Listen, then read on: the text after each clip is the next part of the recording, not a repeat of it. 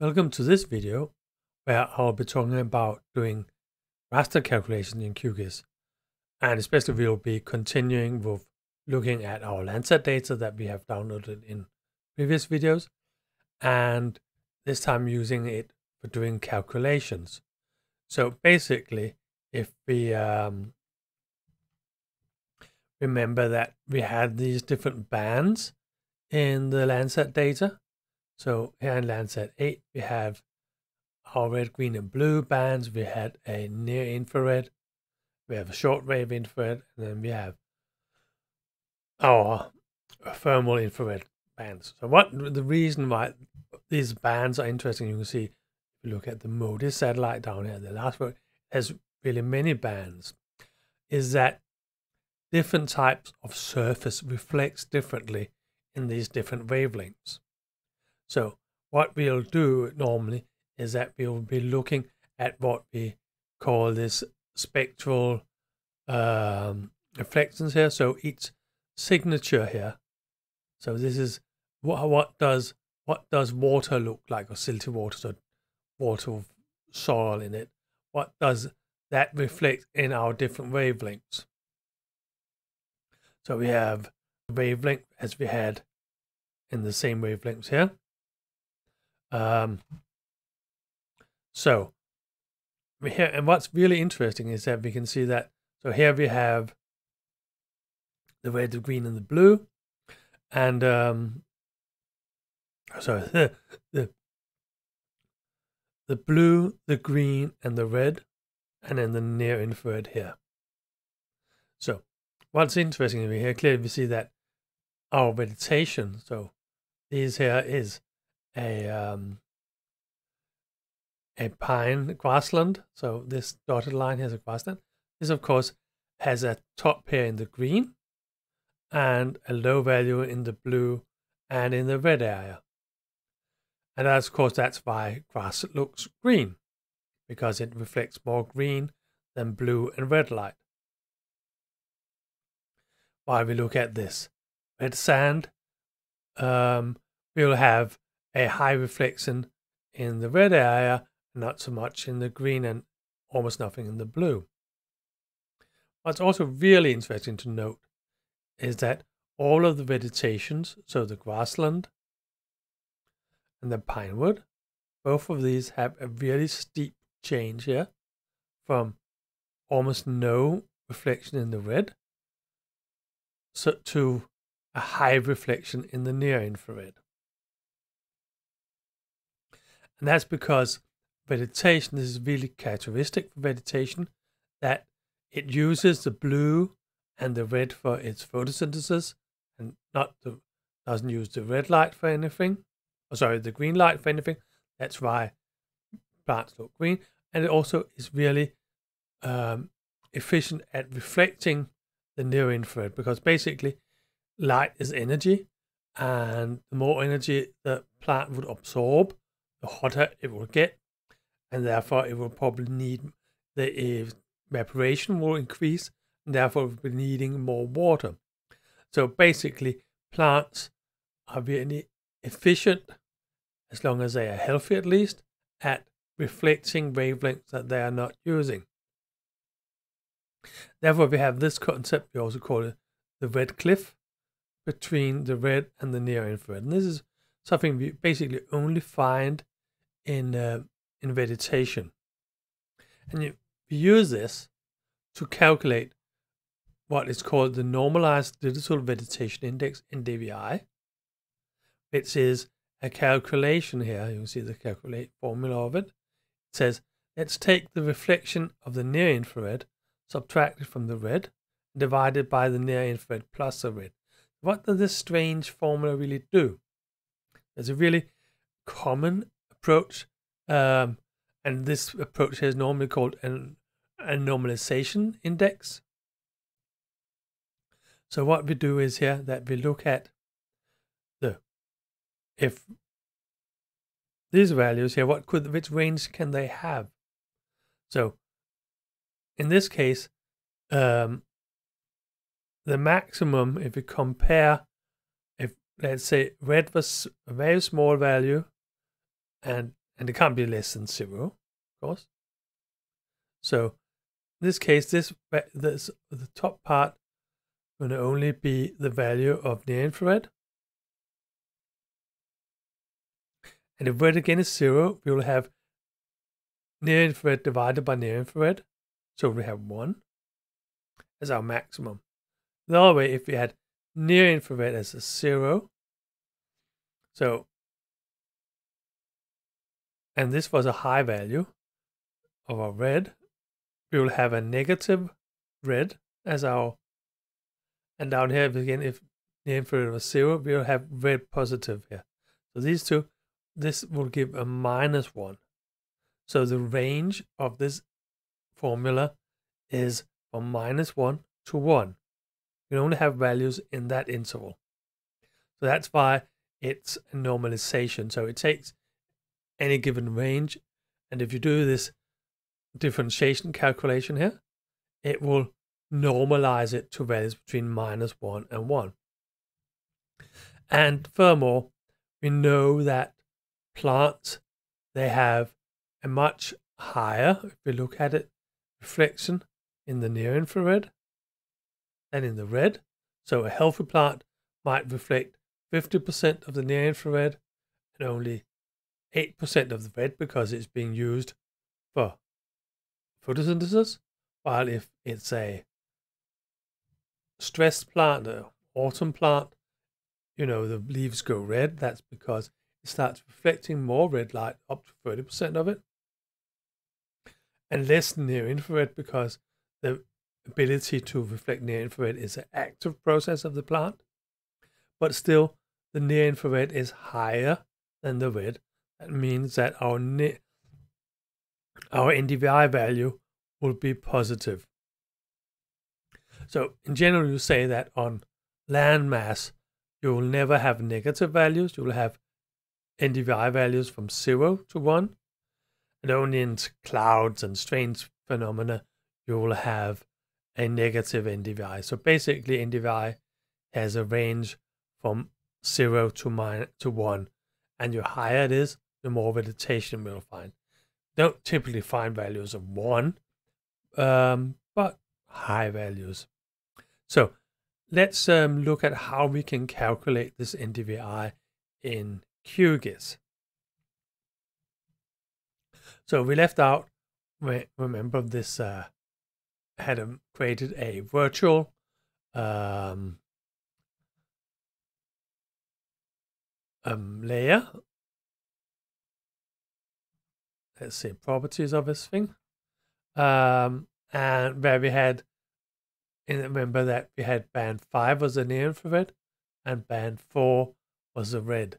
So these are the same as the bands we had in our, going back here. So here band 5, these were numbered in the same way as here. So we're looking to look at near infrared is 5 and red is 4.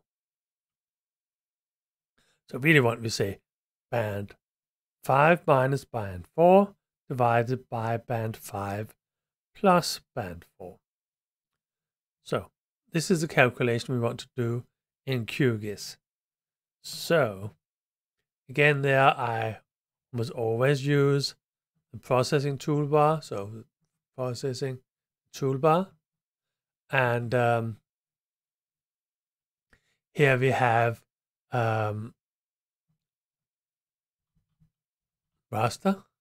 So that is a raster calculator tool that we can use to do our calculations. So here we have all our bands, our virtual layer 1, 2, 3, 4, 5, 6, 7. And what we said was that we wanted to calculate. And we better put some brackets in here. So band 5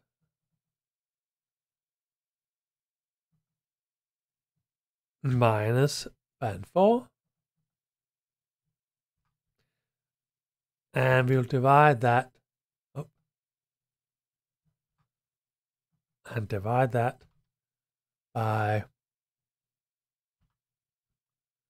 band 5 plus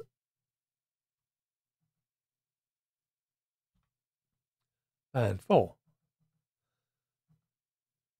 So basically, we're writing it as if same principle as we as we would do in a normal formula here. So band 5 minus band 4 divided by so on.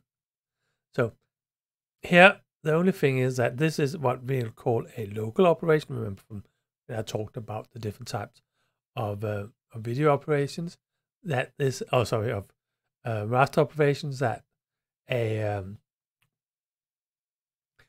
local operation is where we take each pixel in one layer and do do operations. So here you have a operation of minus between band 4 and band 5. And then we have a operation of a plus between band 4 and band 5. And we do a division between those two. It should be said that this is so common in operations that it's already built in to um, to to QGIS. So you have here some predefined expressions, and you can pick it up from down here if you want. So if I hadn't wanted to type it myself, I could have clicked here and say add. And uh, where did that go? Uh, it will then ask me. It will then ask me what is my what is my red band, and my red band is band five. Sorry, my red band is band four. It's, it's putting it outside the monitor at the moment and my infrared is band 5. And if I say OK, you can see it does exactly the same formula. Um, so there, there are some built-in and you can save your own and, and have them if that's something you do often. So once we've done our calculation, we need to specify a lot of things because this is raster now. So we have to specify our coordinate system, our cell size, our extent. So these are these three cell size, our extent, and our coordinate system. What we typically do is that we say that we have one layer that we always reference to because it's important when we do raster calculations that we have a common reference for the same cells at the same location. So we'll typically, instead of doing this, go down here and use a reference layer. If I click here, it will ask me, drag this in, it will ask me what layer. In this case, I just have my virtual layer, so I'll just choose my virtual layer, and it will use that. So my output will have same extent, same cell size, same coordinate system as my reference layer. So I can now do my run my operation.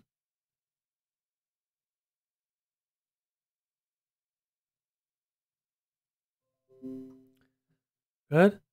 And it has now calculated my NDVI for me. So I have my band here up. I could rename it to, uh, I don't I go outside the monitor again. Uh, NDVI. And you can see it has values between minus and so two and one. So this is the interval it has. Um, these values here, um, we can see that we have low values here and we have low values and high values in the forest. But it would be more interesting to have some more interesting colors. What we'll do is that we'll look at another type of coloring. Let's bring this up here. My properties. So what I want to do is I want to do a instead of having a single color gray, so we have these different values we were looking at. A uh, multicolor, so that was what we used for our basic one. We had a uh, pseudo color unique values, that's where we can have classes one, two, three. We have a uh, single color gray, and finally, we have this pseudo color uh, range here. This is the one I want to use. So I want to use a pseudo color and I want it to be, so I have red at the low values and I want to have a green at the high values. So let's see if I can uh, find this spectrum here. It's not really good, but what I could do is that I could edit it. So I'll just bring it into my screen here and say that I want this to be, bring them in here, green. So I'll do a range from green to red. Uh, so, and you might say maybe we should, um, because it's a bit down like that. So, um, yeah, something like that. I don't expect to have really many of ones, but let's see. So this is my how my image looks. So you can see I should have probably reduced my my red a bit further to have a bit better view on this. So uh, I want to have a bit more green area than red. So I'll just bring up my edit on this one again and pack my red colors down.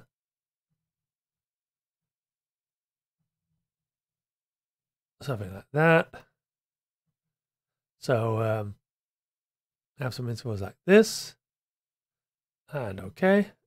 So now I have a bit more green colors and red colors as I wanted.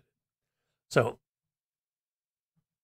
what we now can do is then we can zoom in on Copenhagen and you can see that Fælledparken and uh, all of these green areas are coming out as nice green and the rest, the sea of course is in red and the urban areas in red, like Sparehave and so on.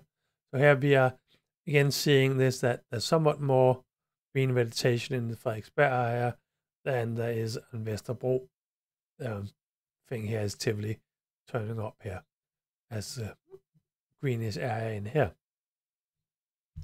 So NDVI is one of those really simple calculations where this can take two bands, subtract them from each other because vegetation has this um, aspect of being having um, high reflectance in the near infrared and the low reflections in the red because it's the red and blue colors that are used for photosynthesis. We can use this trick to emphasize where we have vegetation.